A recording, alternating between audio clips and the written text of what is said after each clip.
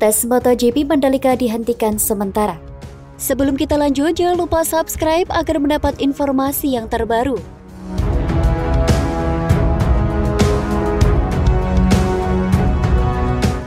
Tes MotoGP Mandalika dihentikan sementara pada sesi pagi hari, Jumat 11 Februari 2022, setelah kondisi trek sirkuit Mandalika kotor. Pihak MotoGP melalui akun media sosial mengatakan, kondisi trek sirkuit Mandalika cukup kotor dan mengganggu jalannya tes MotoGP Mandalika. Kondisi sirkuit Mandalika yang kotor terjadi karena hujan yang turun sepanjang malam di sekitar wilayah sirkuit. Red flag Sesi tes telah dihentikan sementara karena sirkuit sedang dibersihkan. Hujan sepanjang malam membuat sirkuit cukup kotor, tulis pihak MotoGP. Sesi pagi tes MotoGP Mandalika sudah berjalan lebih dari satu jam. Saat red flag dikeluarkan hari pertama tes MotoGP Mandalika menyisakan 6 jam 36 menit dan 13 detik. Pembalap Suzuki Alex Rins menjadi pembalap pertama yang turun ke sirkuit Mandalika saat tes MotoGP Mandalika dimulai. Rins mencetak sejarah sebagai pembalap pertama MotoGP yang mengaspal di Indonesia sejak 1997. Hasil tes pramusim MotoGP 2022 di sirkuit Mandalika hari pertama sesi 2 baru saja rampung Jumat 11 Februari 2022 siang. Pembalap tim Premac Ducati, Joan Zarco masih berada di posisi teratas dengan catatan waktu 1 menit 44,83 detik. Catatan itu masih sama seperti di sesi pertama, meski sama catatan waktu Joan Zarco jauh meninggalkan sejumlah pembalap top. Juara dunia 6 kali kelas MotoGP, Marc Marquez bahkan tertinggal hampir 2 detik dari X dua kali juara kelas Moto2. Mark Marquez yang menempati posisi 9 terpaut 1,987 detik dari Zon Zarco. Bagaimana dengan juara dunia MotoGP 2021 Fabio Quartararo? Rider andalan Monster Energi Yamaha ini juga masih tertinggal jauh dari Joan Zarco. Fabio Quartararo yang menempati posisi 7 terpaut 1,45 detik dari sang kompatriot. Lantas siapa pembalap yang persis di bawah Joan Zarco? Mengekor di posisi dua ada rider Pramac Ducati, Jack Miller. Pembalap berpaspor Australia itu hanya kalah tipis dari Zarco. Jack Miller hanya kalah 0,018 detik. Pembalap andalan tim Red Bull KTM, Brad Binder melengkapi posisi ketiga.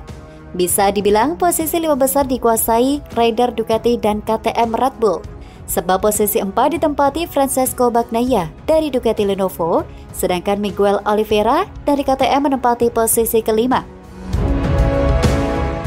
Tes di sirkuit Mandalika masih terus berlangsung hingga pukul 16 waktu Indonesia Barat.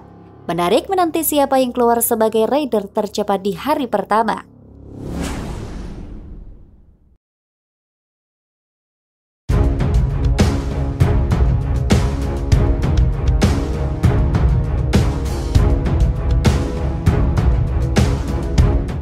Ketemu Marquez.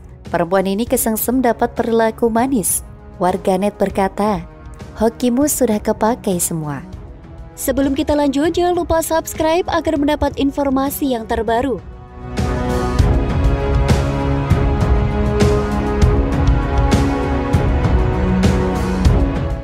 Seorang perempuan dapat kesempatan emas untuk bertemu pembalap MotoGP kelas dunia Mark Marquez. Hal ini dialami oleh pemilik akun TikTok @lipoeti pada video yang ia unggah. Perempuan berhijab itu bertemu dengan Marquez. Ia menyapa dan merekam pembalap tersebut. Marquez menggunakan hoodie berwarna putih dan masker. Ia terlihat bersama rekan pembalapnya. Setelah dekat dengan Marquez, perempuan tersebut meminta si pembalap untuk membuka maskernya sebentar. Halo Marquez, can you open your mouth? Ungkap perempuan tersebut. Marquez kemudian membuka masker dan berpose di kamera perempuan tersebut. Love you, ungkap Marquez sambil memberi tanda kecupan di bibir. Perempuan tersebut menyatakan bahwa ia bisa bertemu dengan Marquez sedekat itu karena ia merupakan admin prokes untuk MotoGP di Mandalika. Kalau ketemu bisa susah karena dijaga. Marquez ramah banget, imbuhnya. Video yang diunggah pada 9 Februari 2022 itu mendapatkan berbagai respon dari warganet. Hoki seumur hidup udah kepakai semua. Komentar warganet. Para cowok yang dari kecil pada ngidolain sampai berebut waktu main PS, malah lu yang ketemu. Imbah warganet lain, ini dia yang lagi nyoba nasi pecel itu ya? Tulis warganet di kolom komentar. Ya ampun mbak, saya ngiri. Tambah warganet, mengiri banget, timpal warganet lain. Saat berita ini dibuat, video perempuan tersebut bersama Marquez sudah ditonton lebih dari 4,7 juta kali. Kedatangan Marquez ke Indonesia terkait dengan ajang MotoGP Mandalika yang rencananya digelar pada 18 Maret hingga 20 Maret 2022 mendatang. Perlu diketahui, ajang MotoGP Mandalika kini resmi memakai nama Pertamina Grand Prix of Indonesia sebagai upaya mendorong pertumbuhan ekonomi nasional melalui ajang balap motor internasional ke Indonesia. Dengan penyelenggaraan Pertamina Grand Prix of Indonesia ini, kita dapat memperkuat nation branding Indonesia sebagai negara yang resilient di tengah krisis pandemi global, ujarnya pada Rabu 9 Februari 2022. Naik menyampaikan untuk mewujudkan langkah tersebut, Pertamina lantas menandatangani perjanjian kerjasama dengan Dornaspot selaku pemegang hak komersial MotoGP.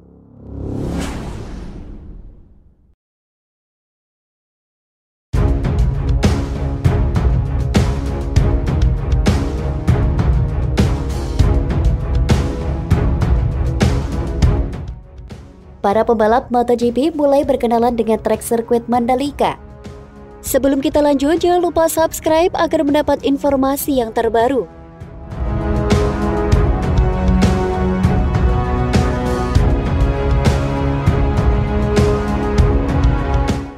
Sejumlah pembalap MotoGP mulai berkenalan dengan trek sirkuit Pertamina Mandalika sebagai persiapan jelang sesi tes pramusim di sana. Tes pramusim akan digelar pada Jumat, 11 Februari 2022. Pembalap tim Aprilia, Alex Espargaro menikmati track walk di Mandalika dengan berkeliling menggunakan sepeda. Halo, Halo para fans Indonesia, saya di sini. Lap pertama di sirkuit Mandalika. Hari ini dengan sepeda. Kata Espargaro dalam video IG Story The Mandalika GP. Hai Indonesia, Selain itu, beberapa tim sudah sibuk menyiapkan tes pramusim di sirkuit Mandalika. Kini pedok sirkuit mulai sibuk. Para tim menyiapkan keperluan pembalap seperti keperluan ban dan lainnya. Sirkuit ini sangat indah. Saya tak sabar lagi berkendara dengan motor untuk pertama kali pada pekan ini dan satu bulan lagi tentunya untuk melihat grandstand ini penuh dengan orang, penuh dengan fan-fan Indonesia 25 tahun setelah MotoGP terakhir di Indonesia, kata dia menambahkan.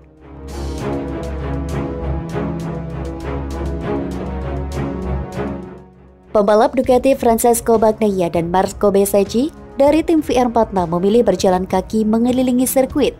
Tak lupa mereka menyapa para fans dengan berkata, Cayo Indonesia.